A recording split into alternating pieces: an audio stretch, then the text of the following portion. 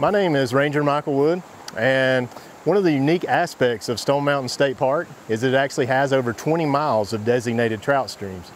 So within those streams, and the reason that we're here today, because I feel like it's very important, um, in these designated trout streams, you actually have brook trout, rainbow trout, and also brown trout. Now, what do those trout eat? So that's the question that we're asking. So the answer is aquatic insects, more specifically macroinvertebrates. Uh, you may ask yourself, what is a macroinvertebrate? All that means is that you can see it with the naked eye and it has no vertebra, or so it has no backbone. Um, so what I'm gonna do is I'm gonna show you a couple of quick sampling techniques and then we'll go through of what we found in the water and show you how that relates uh, to stream quality, also um, to how it relates to fly selection if you're fly fishing.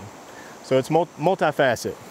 All right, so the first demonstration or the first method of sampling is as easy as picking up rocks. So you pick up rocks in the stream, you look to see if there's anything on there. Um, there's not a lot in this one. Let me get a little, let me pick up one more sample. So here, with this sample that I've picked up, you actually see what looks like clumps of sand or rock.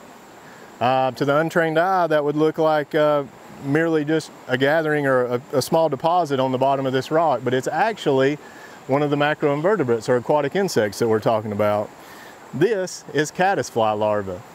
So what they do is they build like a little encasing of sand and rocks. Sometimes it'll be sticks or twigs or leaves, um, and that's where they, they stay inside of. Um, they'll later hatch out into flying insects, and so that's uh, one of the macroinvertebrates that we have here at Stone Mountain.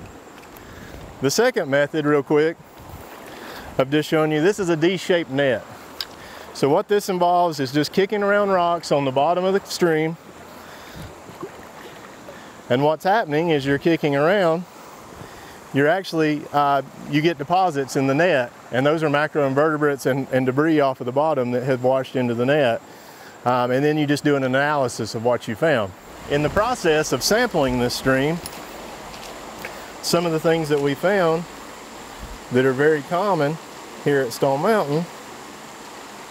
And you can see here, this is a golden stonefly. It's indicated because it has a two-forked tail. Now one thing that's very significant about uh, the golden stonefly is the fact that it is very intolerant to pollution. So you're not going to find this around cities. You're not going to find this in areas, and that's one thing that makes it more unique to mountain streams, the ones like we have here. Um, another species that you're going to have that's very intolerant to pollution is a water penny. With water pennies, they actually don't hatch out into a flying insect. Um, they just stay in this form, uh, nymph form basically on the bottom of the stream. Um, but they're also an indicator of, of an intolerant species. So you only find these in the healthiest of mountain streams. And then finally, the last one that we're going to talk about,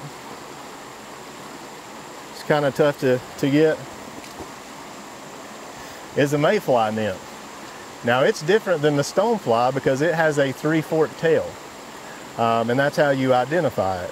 Again, only found in intolerant uh, streams, basically meaning that they have to have high levels of dissolved oxygen, very little sedimentation, turbidity uh, in these streams to be able to survive. So these are what the trout eat whenever they're in the stream. So this is what they survive on, are these species. All right. So if you were in a moderate, uh, uh, or if you were in a different stream and you were looking for a moderate pollution insect, it would actually be more of damselfly or dragonflies. Um, you'll find crayfish in those streams.